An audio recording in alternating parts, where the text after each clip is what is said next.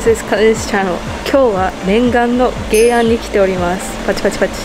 芸南っていうのは良くも悪くも有名な場所です。シンガポールの中でも治安が悪いだったり事件が多い。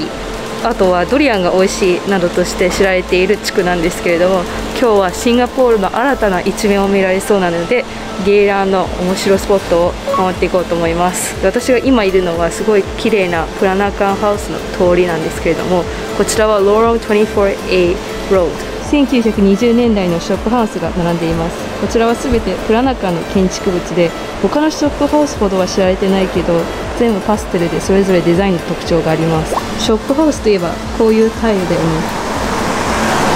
イーストの方はショップハウスが多くて中でも Joo Chiat のとか一番有名だと思います。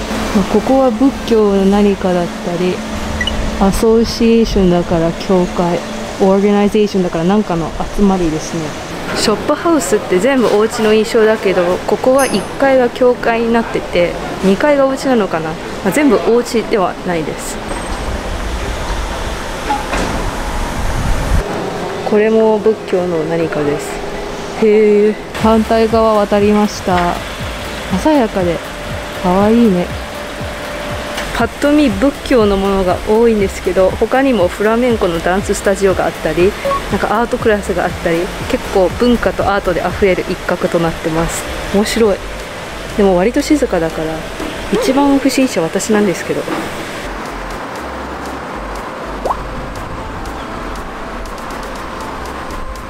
プラナカンハウス行けたのでここから皆さんお待ちかねの積戦地帯に行ってきます。ずっとここ歩けば着くんで。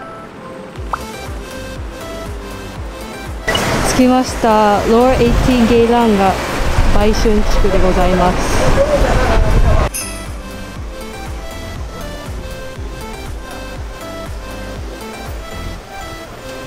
今のところ電気屋さんとか変なアダルトショップぐらいしかないんですけどうーん特にないですね何も。ラブホが多い感じで実はその売春の人たちのホテルとかローテルズは全部閉まってるんですねコロナで。だからそんなに盛り上がってないし今平日の真っ昼間だから何もないっていうのが現状です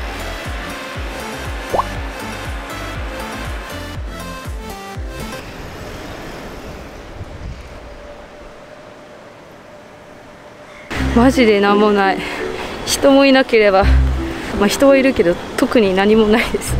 ごめんねつまんなかったら。もう一つの売春地区に行きます。ローロン20ゲイラン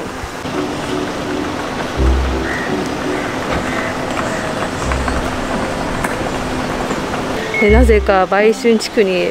仏教のお寺があるんですよ。実はこちらはシンガポール政府公認の売春システムなんです。え？あの罰金だらけの罰則に厳しいシンガポールが売春を公認してるのってびっくりするかもしれないけどそうなんですよ。その売春のお店のオーナーはライセンス料金を払う必要があるみたいです。でそのライセンスを取得したら置き屋を運営できる権利をもらうことができます。なのでライセンス持って許可もらっているところは全部合法だしお店に行っても逮捕はされないみたいです。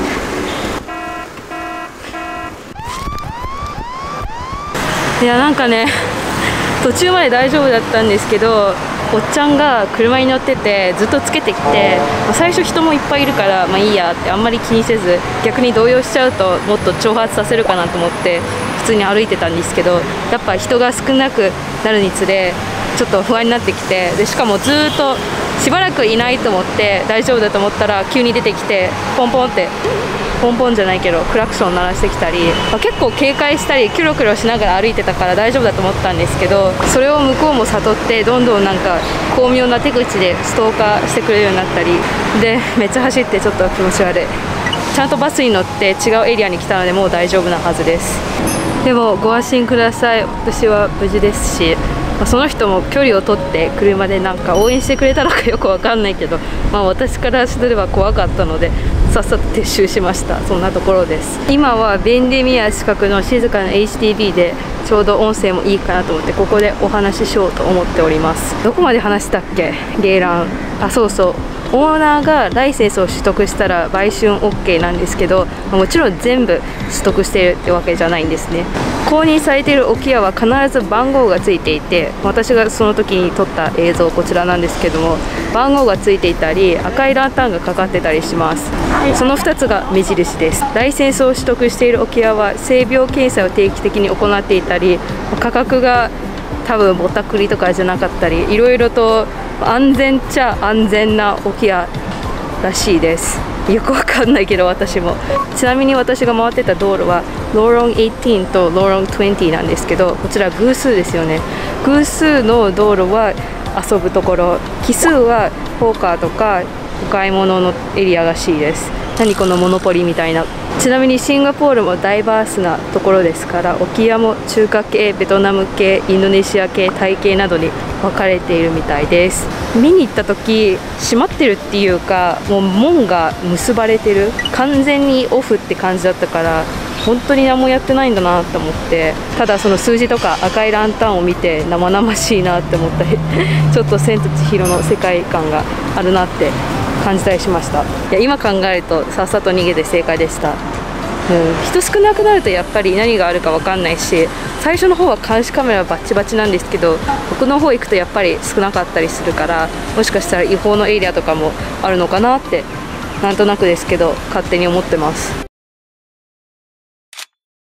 そもそも何でシンガポールが売春を合法にしたのかといってもあのエリアだけですけどなぜそういうことになったのか。ちょっと歴史を遡りますと荒地だった頃のシンガポールは労働者で溢れていて男女ともにひいこら働いてました。現実逃避とその性欲の欲望から自然と性交渉をするようになったらしくとにかくゲイラは元からこう性欲を満たすエリアだったらしくてシンガポールの植民地自体の時も目を背けられていたそうです。で1965年にシンガポールが独立されたんですけど当時の首相リー・クアン・ユーは売春を違法にするか違法にしないか。いやでも違法にしたところでなくなるっていうわけではないし人間の欲は消えない。本能を変えることはできない。なんなら合法化しちゃおうが考えだったそうです。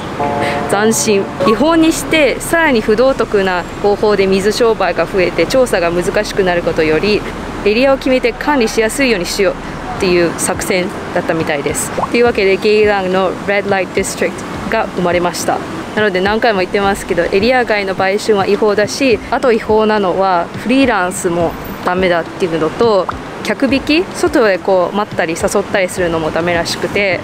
あともちろん18歳未満はダメなのである程度決められたルールはあります。皆さんは売春地区についてどう思いますか？私は大賛成とはまあ言えませんが生活のため家族を養うため働く方もいると思うしその水商売を運営している方たちのおかげで性犯罪が減ったりこうお客さんが満足するのならあいいんじゃないかなって感じ。うん。あと国側も水商売で利益をかなり得ているのでリー・クアン・ユーも完全にノーとは言い切れないと思ったでしょう。政府公認の合法的な売春システムがあったとしてもゲイランでは密輸タバコ違法ドラッグ人種売買もところどころあるらしいので一応気をつけておくべきエリアの一つではあります。といっても海外と比べたら 全然比べ物にならないしシンガポールの国自体がピカピカすぎると少しのサビも目立つのかなって思いました。この旅を得て。ゲイラーの旅は以上となりますがほぼゲイラーにいないじゃんこの動画。まあそれがシンガポールのリアルな実態ということで昼間でも夕方でもあんまり1人でプラプラ行くところじゃないかなって思いました。そこ以外の通りだったら全然いいんですけどねメイン通りとか。よくあるのはカエルのおかゆ。私カエルよりおかゆの方が苦手だから食べられないと思うんだけどメインのゲイラの観光とかあのプラナカンのショップハウスとか見るのは全然ありだと思うんでくれぐれも皆さんお気をつけて 行ってみてください。用事あってブンキングの方まで来ました。というわけで最後までご視聴ありがとうございます。ちょっとぐたぐた緊急事態はちゃめちゃ動画になってしまい申し訳ございません。ではまた。バイバーイ。